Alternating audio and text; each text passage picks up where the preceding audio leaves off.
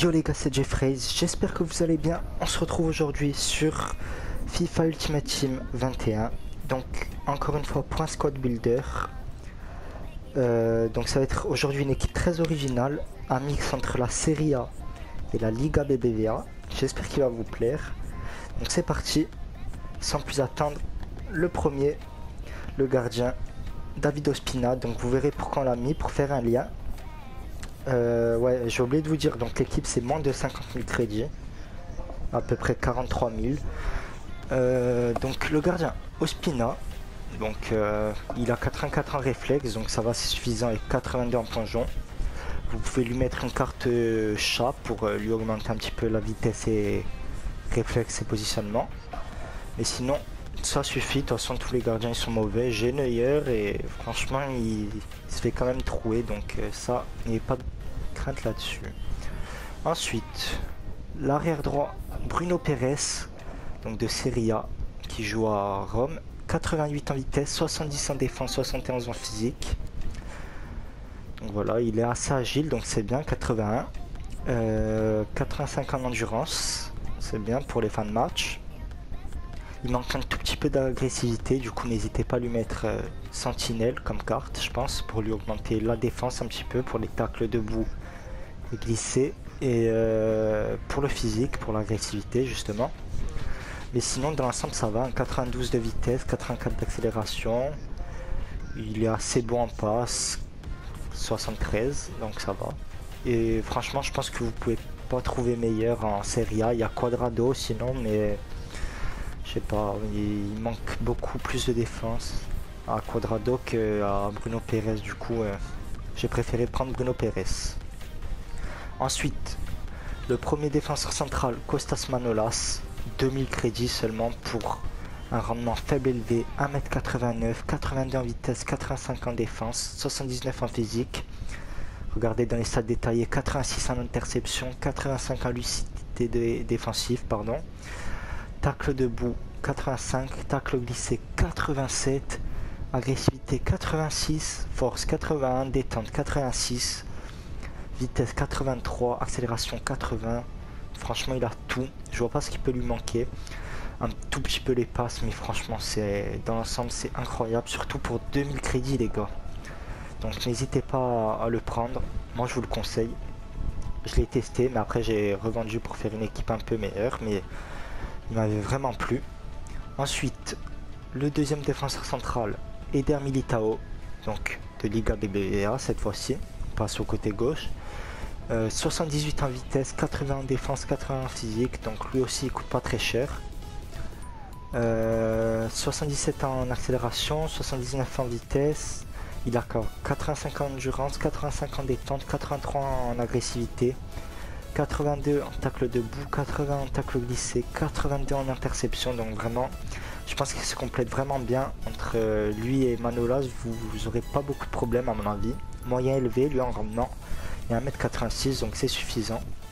Donc vraiment une très belle charnière et un bon défenseur droit. L'arrière gauche c'est Marcelo, malheureusement on est obligé de le mettre pour faire le lien parfait avec euh, Eder Militao, sinon il n'a pas le lien surtout avec le milieu central que j'ai mis, Liga BBVA. Mais franchement, Marcelo, il a l'air vraiment bon. 79 en vitesse, donc après vous pouvez lui mettre la carte catalyseur qui lui améliore la vitesse et les passes. Ou sinon même une carte ombre qui lui améliore la vitesse et la défense, encore mieux. Et sinon, si vous aimez bien dribbler et tout, c'est vraiment bien pour l'attaque. 5 étoiles geste technique, 4 mauvais pieds pour s'entraider de pieds. C'est vraiment calé. 83 en agilité, 85 en équilibre, Ensuite, ouais, 77 en tacle debout et 79 en, en tacle glissé, pardon. Et 80 en interception. Donc, à mon avis, mettez-lui quand même une carte ombre pour améliorer la vitesse qui est que de 80 et 78. C'est bon, ça va hein, pour un latéral, mais c'est bien d'être très rapide surtout dans ce FIFA. Donc ouais, une carte ombre et c'est parfait pour ce joueur. Sinon après, euh, dans les dribbles, il est incroyable. 91 en conduite de balle. Euh, agressivité 80 c'est suffisant, 84 en effet, 80 en passe courte, 84 en centre, donc de beaux centres, c'est bien cette année aussi. Donc ouais, Marcelo et Bruno Pérez ça peut être vraiment bien sur les côtés, juste une carton comme je le répète. Et voilà. Et n'hésitez pas à lui dire de rester derrière en attaque parce qu'elle est faible, ça peut poser problème. Mais dès que vous lui disiez, dès que vous lui dites pardon de rester derrière en attaque, euh, ça devrait aller. Ensuite, le milieu droit de cette équipe, Lozano, 4 étoiles geste technique, 3 mauvais pieds, élevé faible, droitier, 93 en vitesse, 75 en tir, 64 en physique. Donc on va voir dans les stats détaillés, 90 en agilité, c'est vraiment très très bien. 93 et 93 en, accélération et vitesse. Euh, qu'est-ce qu'on a d'autre qui est très intéressant? Euh, ça va, 73. 76 en puissance de tir, c'est bien parce que souvent les alliés ils ont pas beaucoup en frappe. Et 75 en finition aussi. Donc vraiment il, a l'air vraiment bien. Spécialité extérieure du pied, bon ça peut servir. Donc ouais, ce qui est bien après sur euh, quand vous attaquez avec l'attaquant droit, souvent quand vous revenez vers l'axe, vous arrivez sur le pied droit. Et du coup, lui, comme il est droitier, c'est le mieux, je pense. Pour croiser, comme c'est le mieux cette année de croiser, justement. Donc ouais, Lozano, très intéressant. Et surtout, il va faire le lien avec quelqu'un que vous verrez après. Ensuite, le premier milieu central, Rajanen Golan. Donc, lui, carte exceptionnelle, élevé, élevé, 71 en vitesse, 80 en tir, 80 en passe, 83 en dribble, 83 en défense et 80 en physique. Regardez dans les stats détaillés, 88 en agressivité, c'est énorme. 90 en tacle glissé, 86 en tacle debout, 83 en lucidité défensive, 86 en interception et je pourrais continuer comme ça longtemps parce qu'il a vraiment de très gros stats. 86 en puissance de tir aussi, c'est bien pour un milieu. Surtout euh, que c'est un 4-4-2 et du coup, quand il va monter, il va tirer. Et c'est c'est bien pour euh, les tirs lointains 89 aussi. Ouais, donc vraiment il est bien.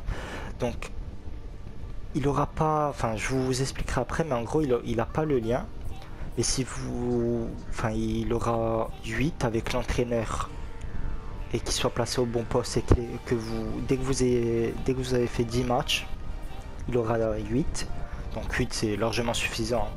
Et si vraiment vraiment ça vous pose problème, vous pouvez mettre à la place de Lozano Hakimi. Mais je trouve qu'il est quand même meilleur euh, Lozano et enfin Nengolan avec 8 ça c'est suffisant je pense. Mais vous pouvez le mettre si vraiment vous voulez. Le collectif, vous avez Hakimi à la de Lozano et ça règle complètement le problème. Donc voilà pour le premier milieu central. Le second, Marcos Lorente, lui aussi, très grosse carte que je teste en ce moment et que je trouve, que je trouve vraiment bon. 4200 crédits. Euh, un match, un but. Élevé, élevé. 84 en vitesse, 74 en tir, 79 en passe, 80 en dribble, 78 en défense, 82 en physique. Lui aussi, a de très grosses stats, surtout dans le physique. Et euh, dans, dans, dans, dans, la défense, ouais, pardon. 79 en lucidité défensive, tacle debout 80, il a une bonne conduite de balle, 83. Il est très bon en passe, 84. Et 82 en passe courte et passe longue. Ouais, donc vraiment très bon. 88 en vitesse en plus. Il a vraiment une très grosse carte et je le trouve vraiment bon. Et il va bien se compléter avec Nengolan, je pense. Ensuite, le milieu gauche Carrasco, 4 étoiles geste technique et mauvais pied. Pour seulement 1000 crédits, élevé faible. 91 en vitesse, 80 en tir, 84 en dribble, Regardez ces stats détaillés, 90 en agilité, 91 et 90 en vitesse et accélération, 80 en finition, c'est vraiment très bien. Pour 1000 crédits, 80 en finition, c'est énorme même pour un ailier. 85 en puissance de tir, 82 en tir de loin. Il a vraiment une très très très grosse carte, 86 en dribble. Donc vraiment énorme lui aussi. Il a les 4 étoiles mauvais pay, donc euh, lui qui tire du droit ou du gauche, euh, normalement ça devrait aller ça c'est très très bien pour un ailier. Et enfin les buteurs. Le premier, Victor Ozimen, 4 étoiles mauvais pied, 3 gestes techniques. Élevé, élevé, 89 en vitesse, 83 en tir, 82 en physique. Donc c'est le boost, hein, celui-là il coûte euh, un peu plus de 10 000 crédits, 11 000, un truc comme ça. Donc euh, j'ai même pas hésité. 82 en agilité, c'est un petit peu moyen, mais vous pouvez lui mettre une carte euh, qui lui améliore un petit peu l'agilité et ce sera nickel parce que vitesse il a pas de problème 82 en accélération mais 94 en vitesse 87 en finition c'est incroyable et ça sert vraiment à la finition donc tant mieux. 89 en endurance, 85 en détente, 75 en tir de loin, donc ouais, assez complet et assez rapide surtout, et c'est ce qu'il faut encore une fois. Juste une carte pour lui améliorer les dribbles et c'est nickel pour qu'il ait un petit peu plus d'agilité, mais sinon dans l'ensemble il est incroyable. Et je pense le, tester un jour parce qu'il a vraiment une très belle carte. Le boost, hein, je répète. Après, vous pouvez prendre le normal si vraiment vous n'avez pas de crédit. Mais là, c'est le boost. En plus, il est grand, donc c'est bien qu'il soit grand et rapide. Il n'y en a pas beaucoup. Et enfin, pour compléter, Yago Aspas, c'est la surprise. 4 étoiles mauvais pied, 3 gestes techniques, élevé, élevé, gaucher, 82 en vitesse, 85 en tir, 86 en dribble. Je vais vous montrer pourquoi j'ai décidé de le mettre à lui parce que je le teste en, ce moment en plus et il est vraiment très fort. Donc 86 en vitesse et 78 en accélération, 89 en finition, c'est incroyable. 84 en placement offensif, 80 en tir de loin, 79 en puissance de tir, 90 en agilité, donc ça aussi c'est très très très bien. L'agilité, comme je le répète souvent, c'est le mieux dans ce FIFA et je pense que vous le savez hein, les gars. 84 en réactivité, 86 en conduite de balle, 87 en dribble, il a vraiment lui aussi une très grosse carte et du coup l'équipe de loin ça donne ça. Donc comme je vous l'ai dit, il n'y a que Nengolan qui a pas le lien. Enfin qui a pas 10 quoi ou 9. Bon lui il va les avoir. C'est juste qu'il est milieu offensif.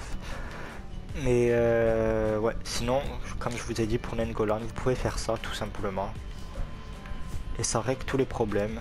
Mais euh, enfin après ce sera aux emails à 8 du coup. Euh, je vous conseille plutôt que ce soit Nengolan il va monter à 8, du coup ça change pas grand chose. Et sinon c'est une très grosse équipe dans l'ensemble, avec une belle charnière, Manolas, Eder Militao, Ospina Cage, Bruno Pérez et Marcelo avec une carte ombre, n'oubliez pas. Euh, les deux milieux centraux, ils sont incroyables, Nengolan, Lorente, donc ça va vraiment faire le taf. Lozano et Carrasco sur les côtés pour apporter de la vitesse et euh, de la réactivité à l'équipe. Et enfin devant, le duo Yago Aspas Ozimel et aussi deux très bonnes cartes. Donc pour moi c'est une des meilleures équipes qu'on puisse se faire pour moins de 50 000 crédits. Donc vraiment euh, incroyable. N'hésitez pas à me dire euh, vos retours dans les commentaires. Et surtout les gars, n'hésitez pas à vous abonner pour plus de contenu. Ça me ferait vraiment plaisir. Et sur ce, je vous dis merci d'avoir regardé. Et à la prochaine.